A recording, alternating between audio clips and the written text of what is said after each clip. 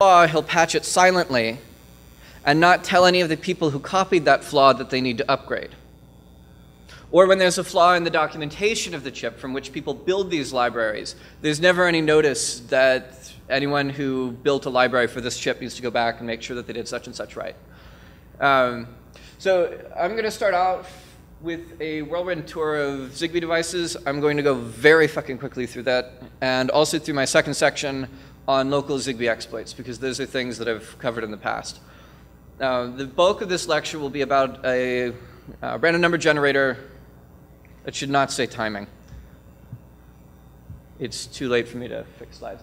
Uh, a pseudo-random number generator uh, attack against the uh, Texas Instruments ChipCon Z-Stack.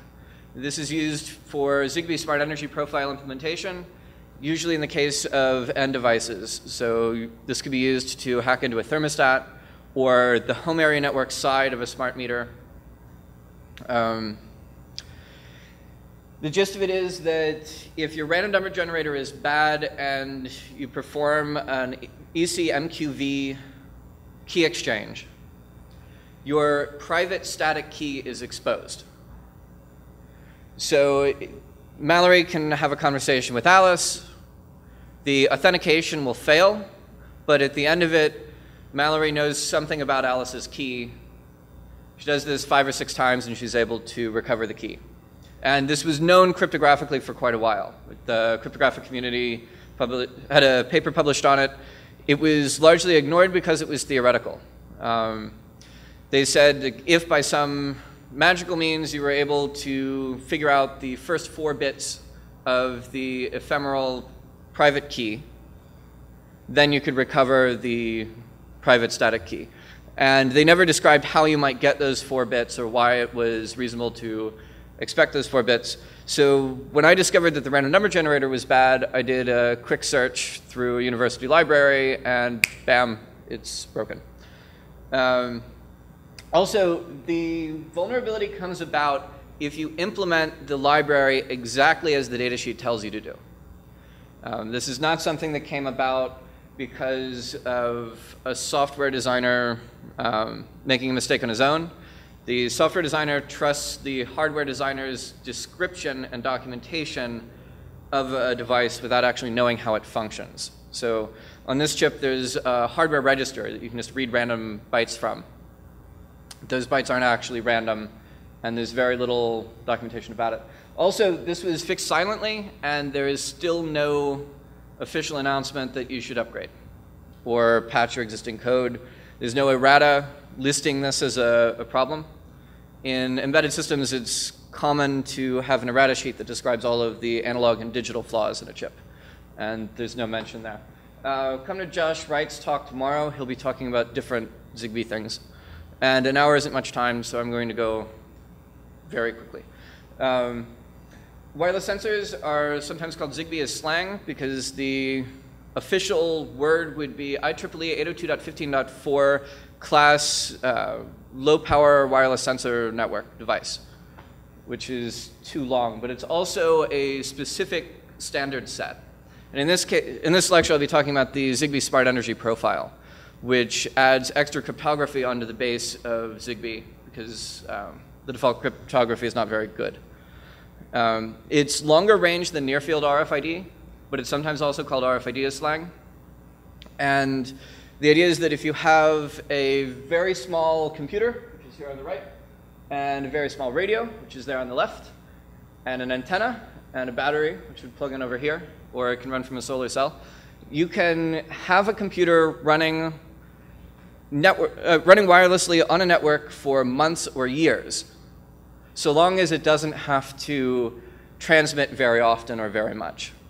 The peak bandwidth for this is about 256 kilobytes per second and you would, in practice, you would never sustain that for very long. You only do a burst transmission, and then you turn back off. This is a competing vendors development kit. Here you have a single chip in the center of the board, which is both an ARM microcontroller and a ZigBee radio. Um, this is a water meter from the city of Paris, or actually a radio repeater for one. So you have a radio chip on each side of the board, And as you can see, the whole thing is encased in epoxy. Um, they also have them in smart electric meters. Um, the older in interface was infrared, which you can see here at the bottom. The infrared light shows up on the camera as blue. So the right eye is transmitting and the left eye is a phototransistor that's receiving. Uh, but there's also a Zigbee radio for communication with devices in the home. This is called the Home Area Network, or HAN. And there's a separate network, which is vendor specific, that speaks within the neighborhood as a whole. And that is later connected to the electric company. You can use this for metering, for home automation.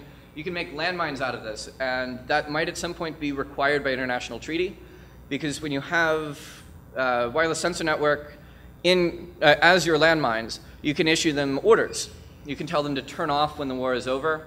You can cause a ceasefire when friendly troops are moving across. You can um, have them identify friendly troops and uh, refuse to commit friendly fire.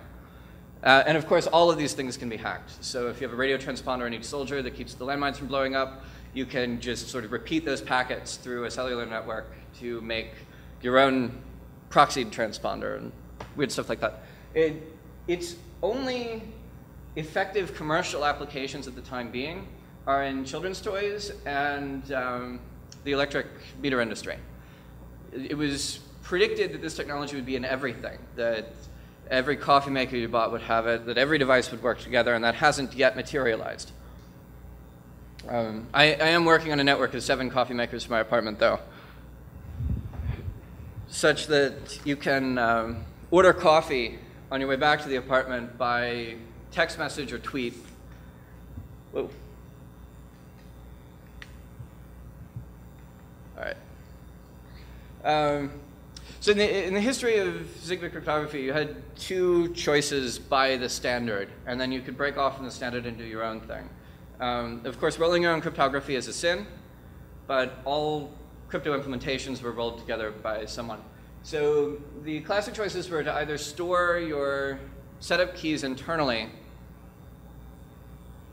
but this requires that every device rolling off of the plant be pre-authorized for a particular distribution. So if an electric company only wants to allow its own certified thermostats to be connected, it can restrict that cryptographically by shipping keys within each unit. Um, the other option is to send them over the air which doesn't work very well when you aren't doing fancy asymmetric mumbo jumbo. Um, so the smart energy profile was created to do a number of things, um, like standardize the packets and application layer for smart electric meters, but among that, uh, they also created new cryptography. In, and through reasons, some of them legitimate, some of them not, the elliptic curve cryptography technology was chosen over which Certicom claims a patent.